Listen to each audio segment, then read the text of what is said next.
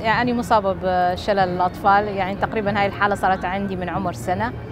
والحمد لله يعني ذاك الوقت ما كان متوفر العلاج.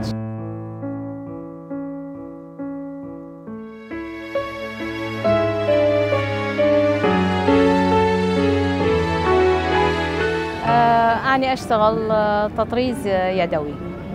وعندي هواية هواية الرسم. آه، فمن خلال التطريز اليدوي رجعت شيء من هوايتي وهي الرسم.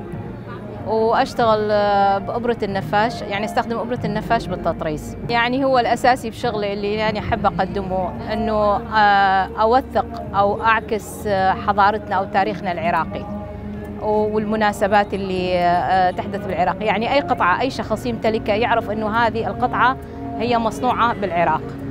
يعني وهذا طريق إنه أشجع السياحة ونكون جزء شيء يعني نقدمه إيجابي بالبلد. الاعاقه أبد يعني بالعكس بالنسبة لي أنا اعتبرها حافز لأن تخليني أكون يعني أخلي نفسي بتحديات إنه أني أستطيع إنه أي شيء ممكن أحققه، ممكن أكو صعوبات بس ماكو شيء عندي مستحيل. والله رسالتي إنه الإنسان اللي عنده طموح أو عنده موهبة أبد لا يتنازل عنها ولازم يسعى إلى تحقيقه ولازم يكون موجود ويعرف عن نفسه.